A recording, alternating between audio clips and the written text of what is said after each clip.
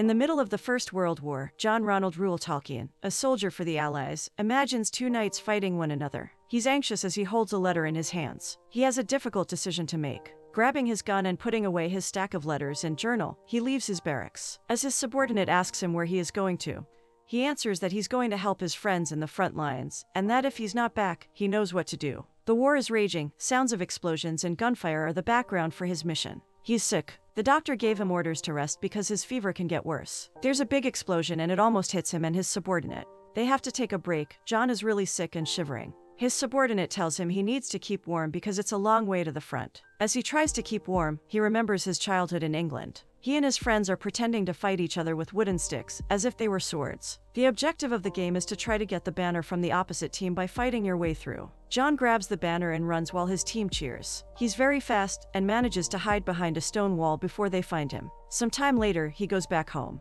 There's a priest there, Father Francis, who scolds him and says that he prayed to have a strong son who would help in the workload. Yet John was playing with his friends. His mother Mabel and brother Hilary come down the stairs and tell him to pack because they are going to Birmingham. John asks why, and his mother is emotional when she tells him that Father Francis has found them rooms and that he's very generous. John doesn't want to go to Birmingham. Patiently, Mabel explains that they are going to face difficult times and that they are fortunate to have the church supporting them. His father passed away in South Africa, John's birthplace. John runs away from the house, tearing up, and his mother goes after him. They hug, and Mabel tells him a sentence in Latin that means wherever you feel happy, that's your home. She tells him that they will find their place and to lock the words in his heart so they can be there forever. John isn't happy as they leave. Birmingham is a gray industrial city, different from his countryside home, and there's a lot of pollution in the air. As they get to their new home, their mother asks the brothers if they know what impecunious circumstances are. John asks if it's the circumstances they are in at the moment, and Mabel answers that when she was a little girl, all the novels began with a family of good and brave people who find themselves in impecunious circumstances. John asks how they escaped, and his mother answers that by coming across some marvelous treasure, or marrying well. Hilary says he isn't marrying anyone, so Mabel tells him he will need the treasure then. John doesn't seem convinced that it's so easy to find a treasure in real life. His mother finds it funny and tells him that there's no way to fool him, but that there's treasure in treasure. John doesn't understand what she means. He and his brother are too young for that. Later, during bedtime, John is staring out the window at his new town. Mabel appears to tell him and his brother a bedtime fantasy story with dragons. While she tells the story, she also acts, and John lets his imagination fly. In the following scene, he's speaking a language that he created to his brother, but Hilary thinks it's ridiculous. He proceeds to speak in Latin to which his brother replies that he sounds like a drunk peacock. They arrive at home, and their mother is sitting on a chair. Hilary leaves the room, but John notices his mother almost falling from the chair. When he checks on her, he discovers a terrible truth. His mother is dead. He hugs her and cries. Back to adult John, he closes his eyes as he remembers his mother's death. He's obstinate and tells his subordinate he needs to keep going. As he's crawling in the mud across the trenches, a gas bomb reaches him and his subordinate. He has to pull a piece of cloth on his mouth and nose to prevent from inhaling it. Once more, he begins to remember his childhood. John and Hilary are in a big house waiting for Father Francis and Mrs. Faulkner. Hilary is touching objects, but John is silent and contemplative. Father Francis tries to scare them by saying that Mrs. Faulkner is an enormous beast and that she's chewing the bone of a small boy. Then, he jokes that there's also cake. Next, they're eating cake while Father Francis and Mrs. Faulkner talk. Father Francis tells her that they are good boys and very diligent, that their mother homeschooled them and they are fluent in many languages. Mrs. Faulkner wants to put them at King Edward's School because it will be good for them socially, because there are sons of respectful families studying there. She tells them it will be different from Africa, and John sarcastically answers that it's true as they hardly ever carry their spears anymore. Father Francis seems uncomfortable, but tries to smile. Mrs. Faulkner asks if they have been difficult to be placed at a foster home, and Father Francis answers that they have been with two other families, but that what they truly needed was a stable and refined environment. Mrs. Faulkner tells Father Francis that she gets attached easily to her lodgers, and that there's a girl, Edith, that is like her child. John is interested when he hears that. He and his brother are given a room with two beds. At night, the house makes sounds that keep John awake. He starts to imagine shadows moving on his wall and gets up to draw them in his journal. In the following scene, John and Hilary walk to school. It's a big and old building, only for boys. Later, he's in the school's choir, but he isn't singing. In the classroom, the teacher makes him introduce himself and mispronounces his name. John stands and corrects the teacher, and some students find it funny. The teacher is embarrassed but asks them to open Chaucer's book in Middle English so they can practice pronunciation. He asks one of the students to read, but his pronunciation is terrible. Another boy who doesn't have the book takes John's book from him. Then the teacher asks him to read and his pronunciation is perfect. It's time for John to read, and some students are laughing at him because he doesn't have the book. Instead of failing, John recites the verses perfectly by memory. Everyone is shocked. Later on, when they are playing rugby, one of the students, Robert, tackles John and they fight.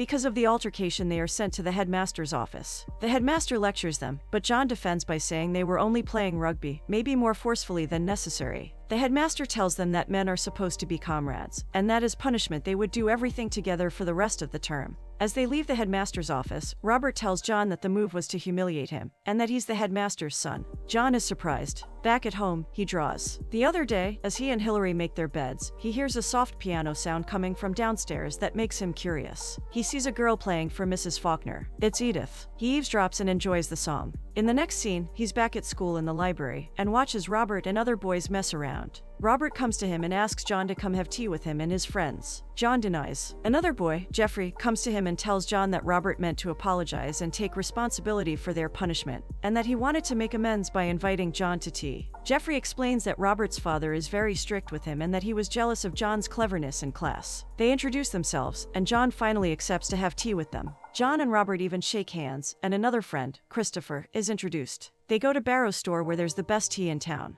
John observes the place, but is very quiet. Geoffrey tries to include him while Robert and Christopher talk. Christopher is complaining that his father loves music, but refuses to let him work as a composer. Geoffrey agrees his mother loves poetry, yet she doesn't want him to pursue it as a career. She's rather he be a lawyer or an accountant. Robert wants to paint, but if he mentioned it to his parents, he would probably be disowned. John chuckles at Robert's drama. At Mrs. Faulkner's house, they are having dinner and John can't stop staring at Edith. She notices and stares at him too. Later, they have jam together and talk about their lives and wishes. Edith wants to leave the house and be free. She doesn't want to carry Mrs. Faulkner's purse or play the piano. She wants to be appreciated and to feel welcome. John shares her feelings, and they smile at each other. At night, he grabs a jar and puts some coins in it. Back to adult John, he and his subordinate are tired and dirty. John tells him that he's looking for his friend Lieutenant Geoffrey Smith, and that his mother wrote to him that she hasn't heard from Geoffrey in weeks. He isn't answering John's letters either. He's worried that his friend died, it's why he needs to go after him. His subordinate, Hodge, insists on going with him because John is terrible,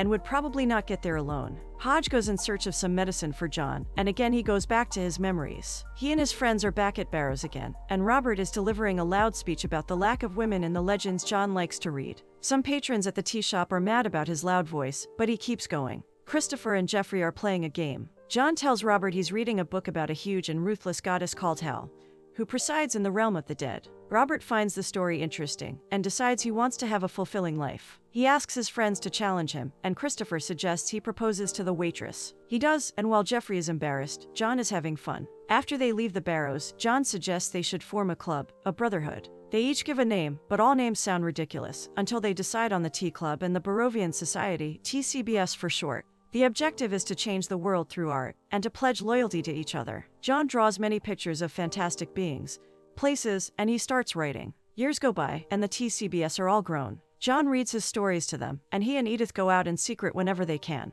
They like going to fancy places. One of the places they go to is a fancy restaurant, and all the women are wearing hats but Edith. When she mentions it to John, he says they all look ridiculous anyway. Then, he speaks a language he invented to her, and she is in awe. He likes inventing languages, and his next one will have music to it. They have a discussion about language and structure, and Edith tells him that a word is the marriage of sound and meaning. They have a moment where Edith softly touches John's hand to explain what she meant. Then, she asks him to tell her a story, though John doesn't want to. She insists, and when he still disagrees, she begins the story herself. The story is about a princess called Cellardor, but John thinks the name doesn't belong to a person, but to a place. He starts telling his own story, making it up as he goes, and imagining what he's describing. As he tells the story, Edith is absorbed by it. They have another moment staring at each other's eyes, but they become awkward very quickly. To disperse the tension, Edith throws a sugar cub in one of the women's hats and proposes John does the same. In the end, they are expelled from the fancy restaurant. They both think it's funny. In the following scene, they are in a park. John lies down on the leaf covered floor watching Edith dance while the sun shines all around her, creating a beautiful vision.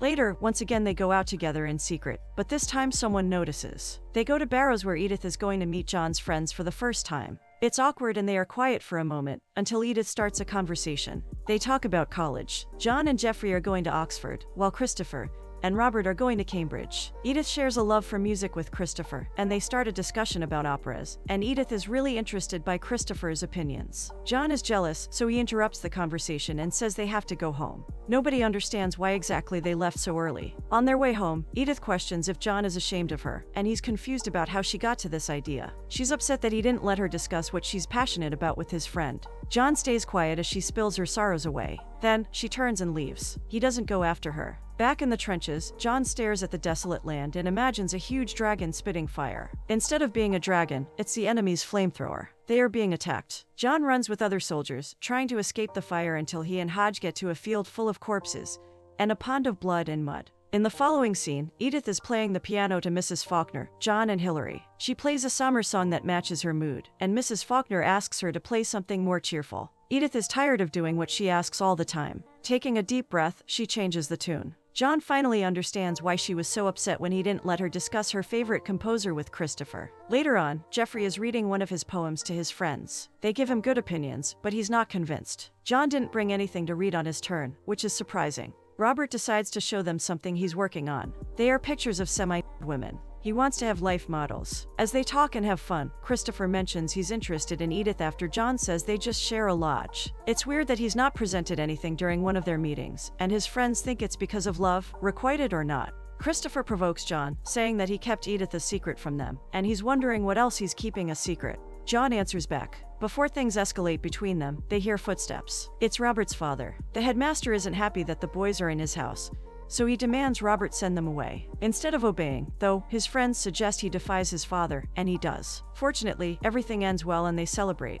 In the next scene, John decides to apologize to Edith by giving her an invitation to an opera called The Ring Cycle. They go together, and she explains to him the plot. It's about a magical ring forged by a dwarf that can rule the world. But to harness the ring's power, it's necessary to renounce love. Unfortunately, there are no places left in the opera, and John has no money to pay for the more expensive ones. They leave, still John tries to enter by the employee's entrance, but it's locked. He's embarrassed and humiliated that he doesn't have money to take care of Edith. She doesn't seem to mind though, and when the opera begins, Edith decides to dance with the clothes stored in the employee's area. They act as if they are in the opera and have a lot of fun. In the end, they kiss. Next day, John is late for his Oxford's entrance exam. John doesn't pass, and he needs a scholarship to enter. Father Francis tells him that and that his relationship with his friends and Edith is getting in his way of his future. John denies it, but Father Francis knew that the night before he had gone to the opera with Edith. He demands that John breaks up with Edith, but John tells him he's in love with her. Still, Father Francis is relentless and tells John that if he loves Edith at the age of 21, he can do as he pleases. John is upset, but obstinate. He decides he can't fail the exam again, because if he does, he will end up being a priest. He tells Edith that they can't be together, but he won't give up on her. She doesn't believe him and leaves. Back in the trenches, John orders Hodge to find Geoffrey for him, because he can't. He asks him to tell Geoffrey to not lose hope. In the following scene, the boys are all in Oxford with some girls they met. John and Geoffrey had both passed the exam. They are having fun, but the girl John is with notices that he doesn't seem very open with her. Christopher tells her that he's pining for Edith, even after months. Christopher and John get into an argument that turns into a physical fight. The anger doesn't last long, though, and soon they are in good moods again. Unfortunately, they get arrested for entering an omnibus without permission. Geoffrey waits for John to be let out of the jail, and they both have to talk to the rector of Oxford because of that. In his dormitory, John stares at a letter he wrote to Edith. Later, when he's with his friends, he tells them that Oxford won't endorse his scholarship because he doesn't have the grades to pass. The only solution for him is to get a job. His friends don't think it's fair since he's the most talented out of the four of them. Still, there's nothing they can do. On the next day, they play rugby while Geoffrey's mother watches. At the end of the game, John asks to talk to her and tells her that the problem with the rector and the arrest was his fault. He informs her that he's going to be sent down and she doesn't need to worry about his bad influence on Geoffrey anymore. He also tells her that Geoffrey has talents as a poet and she should give him a chance. She only wishes good afternoon to him and walks away. Later on, John gets a letter that disturbs him greatly. He drinks a lot and starts to talk loudly in the language he created in the middle of the campus. Professors wake up and yell at him to get off the lawn. He doesn't. Instead, he lies down to watch the stars, and they remind him of his beloved Edith. Once again, he imagines a dark knight riding a horse in a desolate field. The knight has a black mask covering his features. Meanwhile, Geoffrey comes to his rescue. He tries to make John get up, but ends up on the floor with him. John asks him if he would like to come to a summer wedding. And when Geoffrey is confused, he shares that Edith is getting married. He starts crying. Everything around him is falling apart. Geoffrey comforts him. In the next scene, John and Geoffrey are watching a fencing class. When asked if he was okay, John answers that he's delighted. Geoffrey advises him to see the beauty in an unrequited love, and that he can seek comfort in poems. John thanks him, but they are interrupted by a man speaking ancient Gothic. The man is Professor Wright. Geoffrey leaves, so he sits down beside John and asks him if he's enjoying the book he's reading about the Gothic language. John answers that he is, though there's little about the actual language there. Then, Wright asks about the language he was speaking the night before, when he was drunk. He didn't recognize it. John replies that it's only a language he invented to the fairies. They talk some more, but when John introduces himself, Wright abruptly stands up and leaves. Seeing this as an opportunity, he goes after him. They talk about languages and how they are constructed, and John is in awe of his knowledge. The way he talks about languages reminds John of Edith. They share the same opinion that a word without meaning is just a sound. Wright suggests that John goes to the library to grab some Gothic originals to study. As Wright walks away again, John has an epiphany. The writer of the book he was reading about Gothic is Professor Wright. He's shocked at this discovery. He meets with his friends again and complains about what he said to Professor Wright, the critic he made of the book. His friends comfort him, but he's embarrassed. Robert suggests that he takes Wright's class then, since it's obvious the professor is encouraging him. The problem is, John's course isn't philology. Still, his friends motivate him to try to change the course so he can get a scholarship in something he's really good at. He decides to take a shot and goes after Professor Wright again. Professor Wright doesn't seem convinced about John and proceeds to complain about him in Middle English, which John understands perfectly. It impresses Wright. He gives him an assignment of writing 5,000 words on the influence of Norse elements in Gawain for that evening, and John readily accepts. He writes the paper, and it works. He enters Wright's class of philology. The first work they read is Beowulf. He's happy he's finally studying something he's passionate about. During his studies, he writes more stories and reads them to Professor Wright, who is impressed by him. He tells John he's never seen anyone write the way he does. Unfortunately, in the middle of one of his readings, another student comes yelling that England entered the war. It's disheartening, but the professor doesn't let John fret. He keeps reading his story, while the students all celebrate they are going to war. In the following scene, John sends the letter he had written to Edith months before. Then, he enlists and becomes a soldier. At a party with other soldiers, he offers Christopher a drink. They share a saddened look. Robert and Geoffrey also arrive, and they make a toast over their friendship. When they leave, it's a surprise to see Edith waiting for John. They talk and share the news about their lives. Edith is a piano teacher and is engaged. John interrupts her to confess his regret about choosing Oxford over her and tells her she's the most remarkable spirit he's ever met. She doesn't say anything back, and they leave to go to the ship for the soldiers. They say their goodbyes, and John leaves. They are both uncertain of leaving, and in the end, they run towards each other and share a kiss full of love and longing. They confess their love, and Edith demands that John come back to her. In the trenches, John is really sick. Hodge comes back and tells him he found Geoffrey's battalion. Unfortunately, Geoffrey had already gone to battle. But John goes after him on the battlefield without any weapons. People are dying left and right, and he starts hallucinating, seeing and hearing Geoffrey everywhere, as well as shadows and the Dark Knight again. Still, he doesn't give up. He hears whispers as the Dark Knight kills the soldiers with his sword. Then, a huge shadow monster appears right in front of him. Next scene, John is in the infirmary, and Edith is there with him, happy that he's alive. She tells him he had trench fever, but now he was back home again. He replies that he tried to find Geoffrey, but couldn't. Edith shares that Geoffrey is dead. Robert is also dead. He cries for his friends and is comforted by Edith. Later, Father Francis visits John and talks to him, saying that Edith never left him and that he was right to pursue her. Then, he gives him a letter from Geoffrey. In the letter, he says that the death of one member cannot be the end of their club, and that he wishes John tells the world what he could never say. John gets emotional reading the letter. Years later, in Oxford, John became a professor of philology. He and Edith are married and have two sons. John isn't a present father. He's always working, and Edith is upset and complains to him. He apologizes and tells her nothing he writes is good for him. He thinks writing is pointless. She replies that he should decide what he wants to do. That night, he can't sleep. The next day, he goes back to Barrows to meet with Geoffrey's mother. They talk about his friends, and John mentions that Christopher isn't doing well. She thanks him for bringing her to the place where her son had a good time with friends. John asks her for permission to publish some of Geoffrey's poems, and at first she's not convinced. But John manages to convince her by saying that Geoffrey knew how to love and be loved, and that's why it's important to publish his poems, to show his art to the world in a time of war and losses. In the end, John is with his family in a forest. There, he tells the story he intends to write about journeys, love, adventure, magic, treasures, and fellowship. The next scene, he's already writing. The first sentence of his book is In a hole in the ground lived a hobbit. His first book was published in 1937, and he is now considered one of the most acclaimed fantasy writers in the world.